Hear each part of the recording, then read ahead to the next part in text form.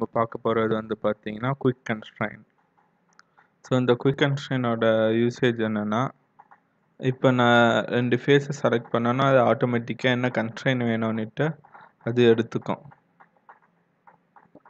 நம்ம அதுக்கேற்ற மாதிரி அதை இது பண்ணிக்கலாம் அப்டேட் பண்ணிக்கலாம். ஸோ இதோட டிஸ்அட்வான்டேஜ் என்னன்னு பார்த்தீங்கன்னா ஸோ எனக்கு இதுவும் இதுவும் சேமாக வேணும்.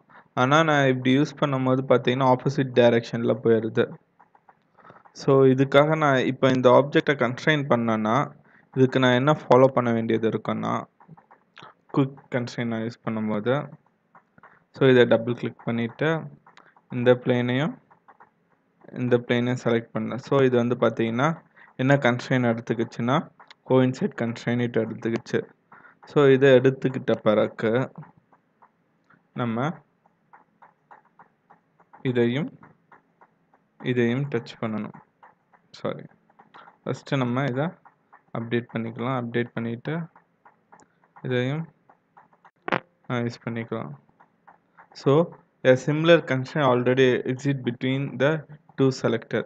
So already இந்த மாதிரி ஒரு கன்ஸ்ட்ரைன் இருக்குன்னுட்டு சொல்லுது. இப்போ நான் வந்து பார்த்தீங்கன்னா டிஃப்ரெண்ட்டான கன்ஸ்ட்ரைனை கொடுத்து பார்க்கலாம். இந்த ஃபேஸையும் இந்த ஃபேஸையும் கொடுத்தா இது வந்து ஆட்டோமேட்டிக்காக அசம்பிள் ஆகிடும் ஸோ இந்த குயிக் கன்ஸ்டைனை பொறுத்த வரைக்கும் பார்த்தீங்கன்னா உங்களுக்கு ப்ராசஸ் கரெக்டாக தெரிஞ்சிருந்தா எப்படி அசம்பிள் பண்ணணுன்றது வந்து பார்த்தீங்கன்னா உங்களுக்கு தெளிவாக தெரிஞ்சிருந்தால் மட்டுமே உங்களால் யூஸ் பண்ண முடியும். ஸோ பேர்லேயே இருக்குது குயிக் இது குயிக் ப்ராசஸிங்காக யூஸ் பண்ணுற கமெண்ட் இதை யூஸ் பண்ணி வந்து பார்த்தீங்கன்னா எவ்வளோ பெரிய ஆப்ஜெக்ட்னாலும் சீக்கிரமாக அசம்பிள் பண்ணிடலாம்.